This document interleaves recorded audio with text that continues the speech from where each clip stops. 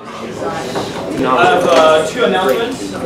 First, uh, the this T-shirt for this summer school. So I have. It's eight dollars uh, for a T-shirt, and I think Alvaro and he's brought a box of box, box of over there, and you can buy them after this. And uh, another thing is uh, Harris Daniels is here.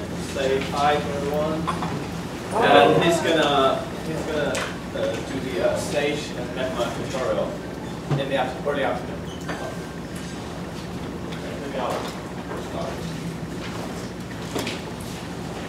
So, First of all, welcome. So my lecture will be about local global compatibility and Quaternion algebras. So for today, we're just gonna talk about what Quaternion algebras are, and I'll spend some time talking about uh, the p-adic numbers, QP. Uh, so first, I'll do Quaternion algebra.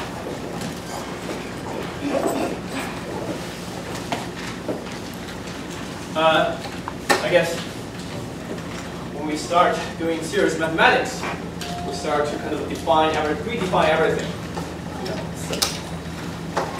like the first thing we do is we define what it means to say natural number, and then the next thing is that we add zero and inverse of them, negative numbers, and we get z, and then we take the field of fractions, that's q, and then the next step from q to r, there's just some sort of completion. Step. What we do is that we have this step. You can define R systematically from Q by doing some of uh, Dedekind cut or completion or whatever. There are several axioms uh, equivalent to each other. And from R, you can also go one step further, to get to the field of complexes. That is adjoining the square root of negative 1. And we can wonder, can we do go one step further? The answer is, well, I you mean. There's something called fundamental uh, theorem of algebra, which says that all complex coefficients, non-constant polynomial fx has a zero. I mean, a complex zero.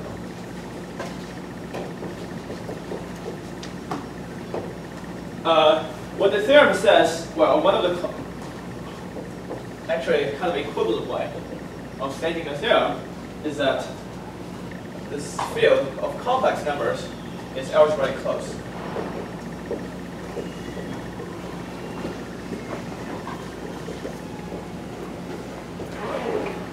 i.e., you cannot sort of enlarge C in a finite way to make a bigger field. So way, no bigger field.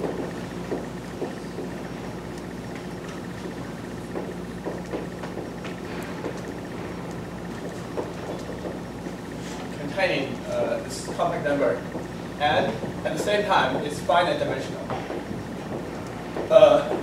Over C, but since C is two dimensional over R, so the same as saying finite dimensional over R.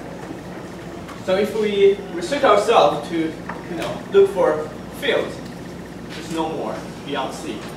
Because C itself is already algebra close, you can't adjoin anything that's not in C.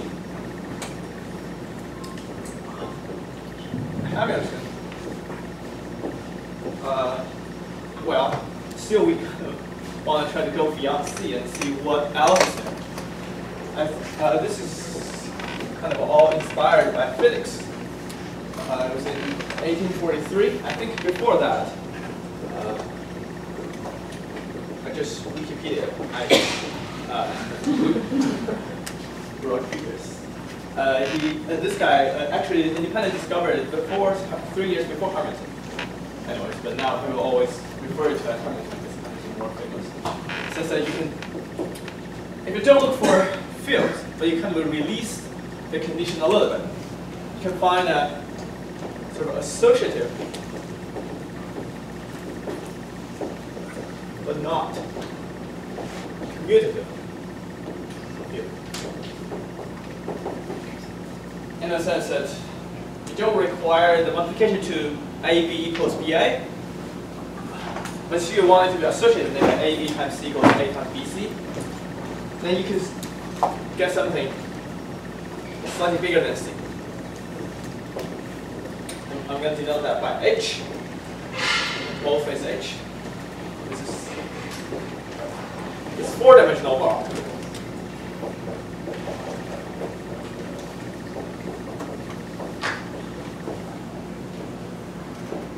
You have uh, you know, contains a real number, and pseudo contains a compact number, of the i. But in fact, you can see that j and k play the same role as i in some sense. Namely, if you square i, we know it's going to be negative 1. But this sort of holds same true for i, j, and k. And as I said that uh, this is not going to be commutative. The commutation relation is that if you do ij, it's going to be k. i times j equals k. And that's at the same time, if you multiply j and i the other way, you put a negative sign. So ij equals negative ji. Similarly, you do jk, you get i, it's negative kj. And um, out of space, you get ki equals j equals negative i. It's kind of a very clever choice of how to define the relations. So I learned this from Keith that you can memorize this easily by drawing a kind diagram like this. I here, J here, and K here. You think that when you multiply I and J, if you do it uh, sorry, clockwise, you get the next one, K. If you do K, J and K, you do it clockwise, you get the next one. However, if you do it the other way, do J times I, you get you do get k, but it's negative k. So it's a good way of memorizing these relations.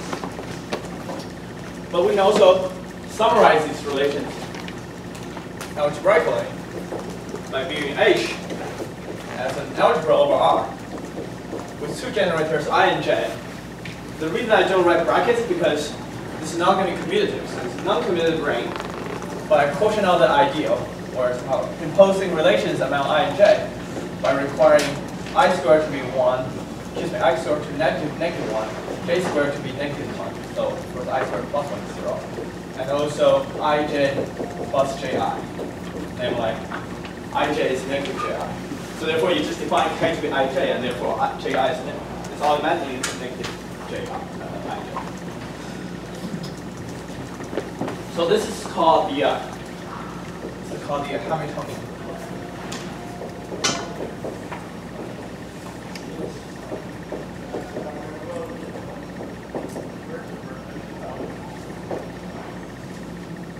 And uh, I want to actually give another name, so it's not very mathematical.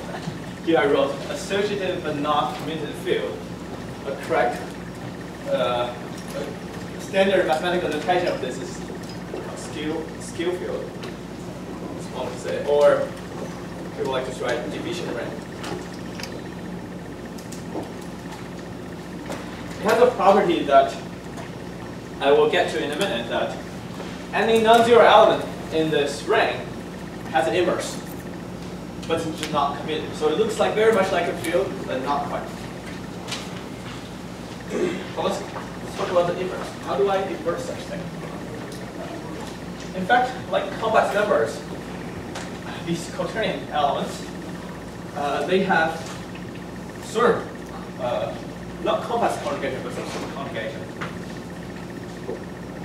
Uh, so if I take an element, alpha, say, equals to, uh, maybe I want to use a, x plus yi j,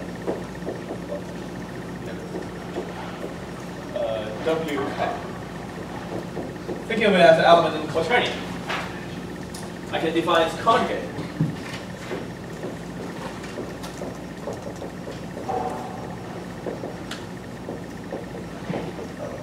To be uh. Uh, when define complex conjugation, you you change the sign in front of i. Now you sort of do the same thing, but think about j and k in the same way. So just sort of change the sign in front of all these j and k. And you can so let's let's do some calculation. The first one is called trace of alpha, defined to be alpha plus its conjugate. So all the ijk's cancel out, you get 2x. So this belongs to the reals. And maybe more interesting calculation is to take the so-called norm of alpha. It's like for complex numbers, this equals to alpha multiplied with alpha bar. Okay, now you have 16 terms. it's not that bad.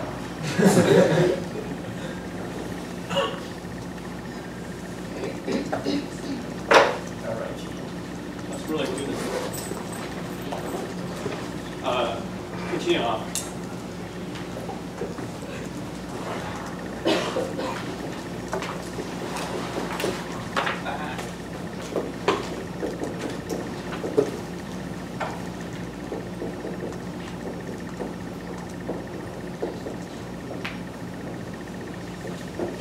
Okay, maybe let's do the term with x first. So I have x squared, right, x times x, and now I have x uh, times negative yi, and at the same time you have this x times positive yi, so they cancel out. So x times zj cancel with this x, this, this x times this negative zj cancel with this x times this plus zj. So these sort of cross terms cancel out, right? And now let's do, maybe do y. Let's do yi. So write it out. So yi times negative yi. Right, so that's the next one you see. But we know that y uh, i squared is negative 1. So this is just nothing but y squared. Okay? Uh, still hopeful there are quite a few other terms.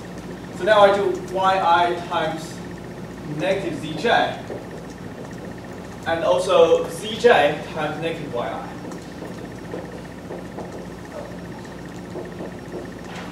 So you have to be very careful working with quaternions because it's not commutative. You have to remember the order. It's y here. y comes first, and then zj, the negative zj comes later. And same here, zj comes first, and then it's negative y. And if you combine these two together, uh, what do you see? Well, the real numbers uh, sort of moves out. It commutes with all the ijk's. But then what do you see? Maybe I'll take the negative sign out too. So here you have negative, negative sign, here you have negative, negative sign. So inside I have ij plus ji. Remember that the order matters. Now we said earlier that ij is negative ji. So they cancel out. So this is zero.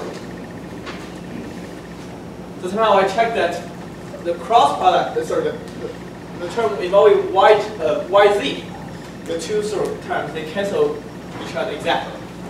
And you can do sort of the same thing for the term involving zw and xw, uh, yw. They all sort of cancel out because the so one of them will give you ik, the other one will give you ki, and one of them will give you jk, the other one will give you kj. They all cancel out. So at the end, you only have these sort of squares. You have to sort of add.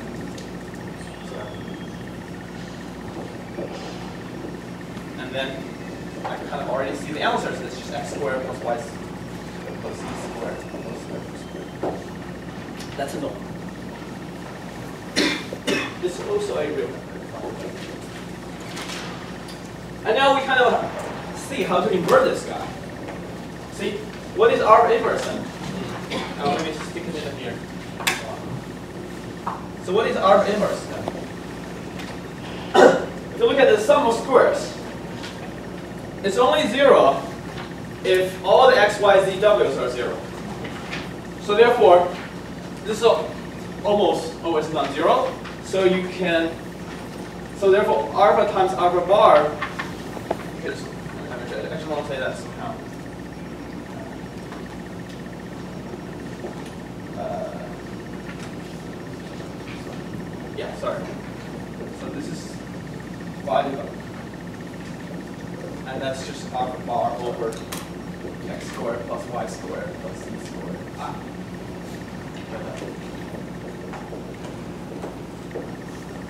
So the inverse of alpha would be alpha bar divided by the norm, just like complex numbers. And then the point is this norm is never zero unless alpha itself is zero. So that shows that for the Hamiltonian quaternion, any non-zero element actually has an inverse. By just looking at the norm. The point of the norm is never zero unless alpha itself is zero. I hope, I hope this gives you some sense of how these quaternion algebras work. And of course, are there any questions move?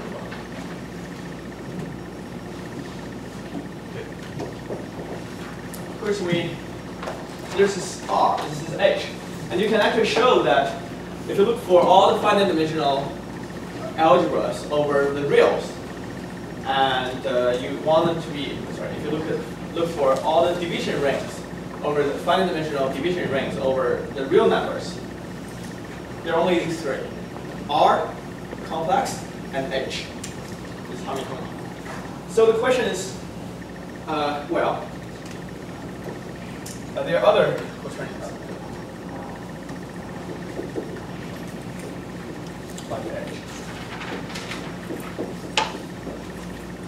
Well, in simplest as I just said, over R, uh, the only finite dimensional, I mean R dimensional, uh, R dimensional, uh, R algebra. Sorry. Division R algebra. R. The real number itself, compact number, these two are commutative, and then it's So you may say, okay, there's nothing to do now, so we can end the lecture and have lunch. well, I mean, but we're number we're here for number service, so we we're not that into the real numbers. So we want to ask, can we do this for a field instead of just R? But we when we do, we will consider other fields. For this talk, I'll be focusing on the case when the field is rationals. I guess. I guess most of the number theory questions are just about the rational numbers and you know to start at least. So here's a more sort of general definition. So that can be a field. Analytical number is about the case when the characteristic is 2. So let me just say the character is not equal to 2. Uh, for any numbers a and b in K cross, I want to define uh, a, a, a, a quaternion algebra.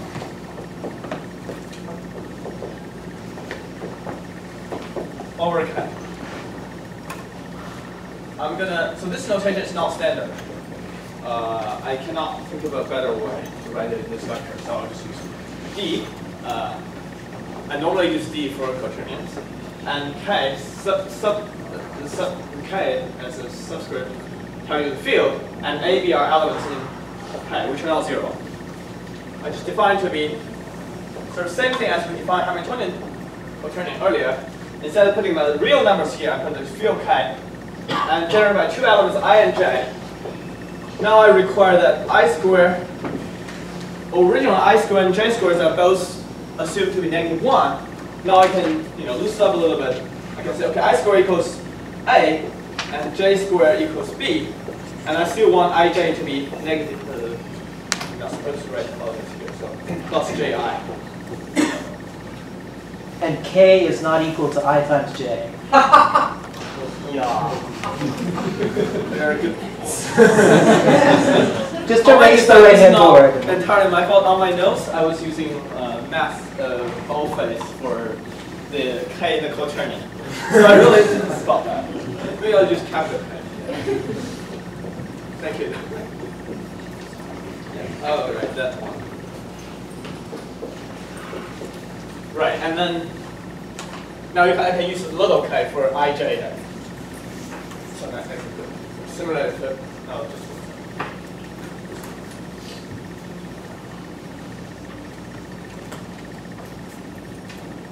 So I can put small k to be ij.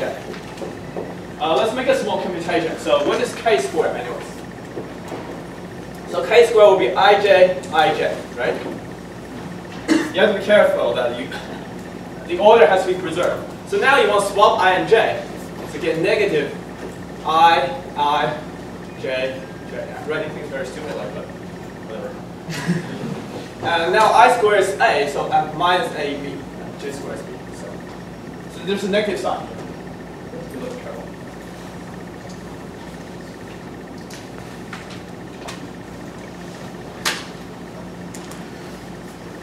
Okay. So let's give an example we have already worked out.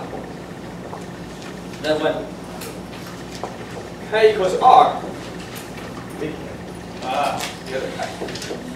Uh, this Hamiltonian in my new notation. This is a quaternion algebra over the reals, where a and b are taken to be negative one, because i squared and j squared are negative one. And what if I don't take negative one when the field is reals? What do I get? Well, let's see. Let me take another one.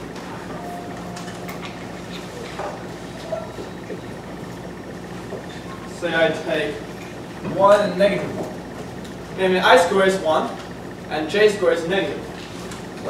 So to say, that this is actually isomorphic to the matrix algebra. It's different uh, from the Hamiltonian quaternion. But this is not a sort of division ring because you see non-zero matrix may not have inverse. Right? Non-zero matrix can have rank 1, cannot be inverted. So what's isomorphic? So you can stand, uh, I mean, certainly you stand sort of a k-linear right? So the diagonal matrix, AA, which you want to be k-algebra isomorphism, and the I, uh, which is not a usually imaginary I, because I squared is not 1. So you can send it to some matrix square is 1. But you don't want to send to an inner matrix. What's negative? Negative. All negative? That's actually not a good idea in the sense that because you want to isomorph, so the negative 1 will be sent to negative. I mean, right, right. You have to. What? Mhm. Yeah. So one, one is yeah, one, one, and the other one is negative. And what about j? j, I want square to be negative one. But here's an interesting matrix whose square is negative one, which is, oh, sorry. Uh, let me just write, don't write zero. Area. The answers I don't write down are zeros. Speculation. So this is 1, 0, 0, negative 1. For j, I want to send to this matrix, 0, negative 1, 1, 0. If you do the computation in your head, the square of that is negative 1. And you can also check that ij equals negative ji. I mean, under this isomorphism.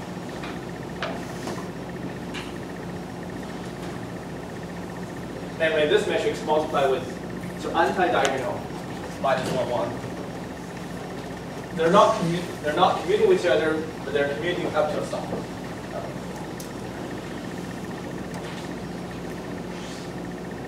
So in general, uh, when k is r, are only two kinds. If you have any sort of non-zero real numbers a and b, it's, I- this, this quaternion algebra, DRAB, is either isomorphic to the Hamiltonian quaternion if both A and B are negative. Okay? And it's isomorphic to the matrix algebra if one of A or B is positive.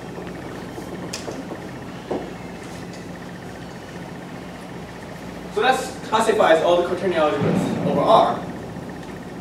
Overly simple. Uh, so now I want to do the same thing for arbitrary field K. Uh, but this is going to be very, very difficult. Why is that? Well, of course, I want to classify all quaternions over, maybe not over arbitrary field, let's just somehow uh, just works, work out one. It's already non-trivial. Work on it over Q. But this is not so easy. Because of what?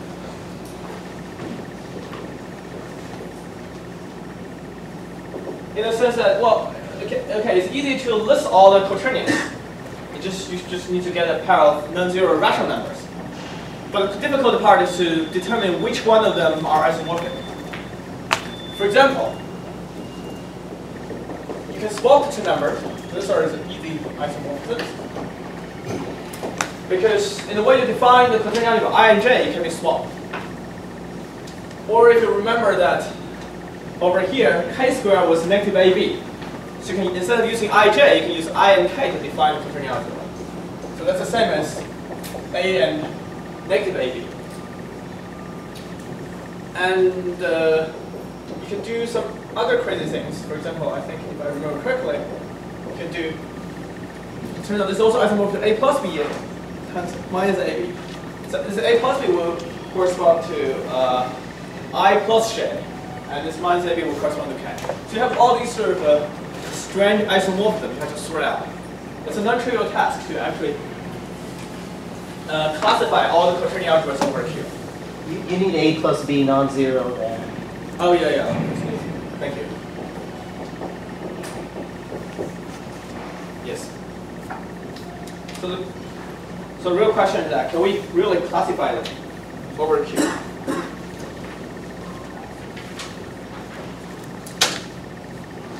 You know, instead of actually doing the arithmetic, like trying out one by one, which is not going to be, which is probably not going to be possible.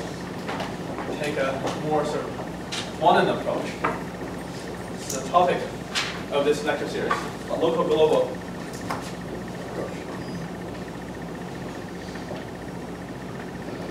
Here's the idea. Here's a sort of simple observation. Is that so I can so if we start with the quaternion algebra with rational coefficients, I can define I can so this is algebra. I hope that tensor is okay. This is a four-dimensional vector space over Q. But now I extend the scalar, allowing not only rational coefficients, I allow real coefficients. So this will be a four-dimensional real algebra. So this is the same as just another way of writing dr AB. And we can do a, some sort of a simple thing, simple sort of a test of whether two quaternion algebras over Q are isomorphic. And the following. So suppose if for, for two pairs, AB and A prime, B prime, in, say, non-zero elements, non-zero rational numbers, uh, if we have the corresponding real quaternions are not isomorphic, then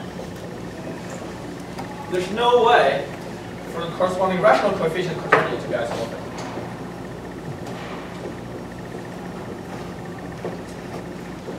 Because if the rational coefficient quaternion were isomorphic, now you just extend the scalar from Q to R. The real coefficient, will be isomorphic. Now I'm doing the compositing. And using this way to test whether the quaternion algebras over Q are isomorphic or not. But this is not, well, this is a good start. But that doesn't need to tell you too much, because the stuff I'm erasing now tells you that over R, there are only two kinds. But we're going to see over Q, there are, plenty, there are infinite many types. So that's not enough to classify all the uh, quaternions over the smaller field Q. So here's a new idea. We're going to sort of take this approach and elaborate on it in the sense of, uh, so I'm going to do two steps. I want, I want the points I want to know whether these are isomorphic. That's usually difficult, but I want to test if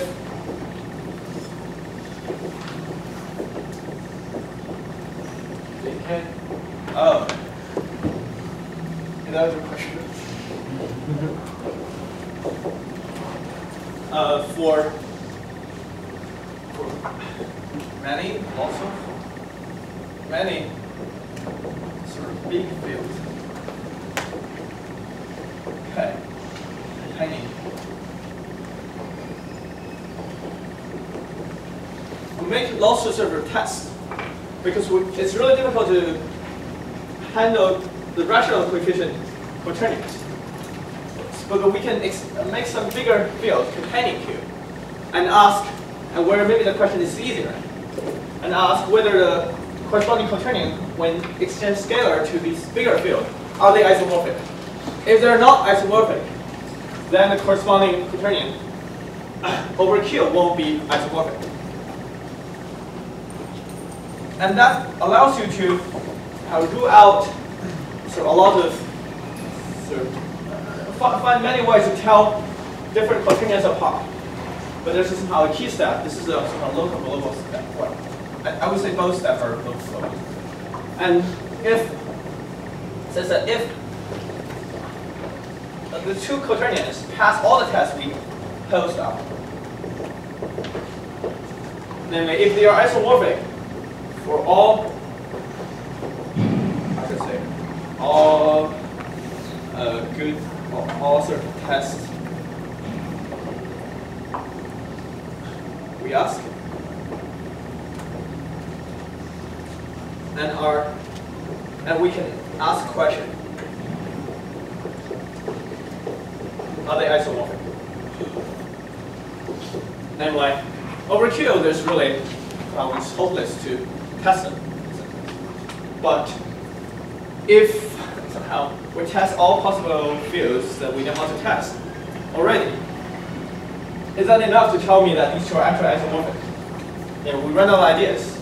The, the only idea we have is that let's just hope that they're isomorphic if pass all the tests.